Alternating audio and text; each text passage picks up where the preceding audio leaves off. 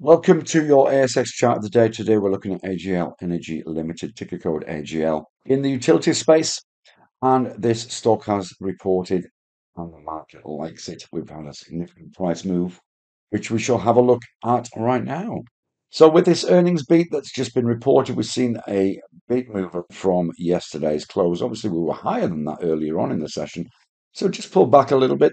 But this this 890 level looks interesting possibly even take it up to nine dollars. So I would suggest that that's possibly a really nice line in the sand in terms of decision making. If we just put it up to nine dollars, you can see there's been quite a lot of price action around this level previously, not only recently but also back in May last year. Uh, a move through this could see us up to test this 200 MA, which is sitting at around about 965.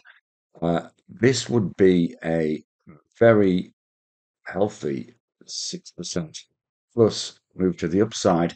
Uh, but if we get momentum in this stock, which is really, which is very possible in, in light of what they've just reported, we could even see it up to test $10 in the medium term. Either way, it's worthwhile waiting to see where this ends up towards the back end of the session.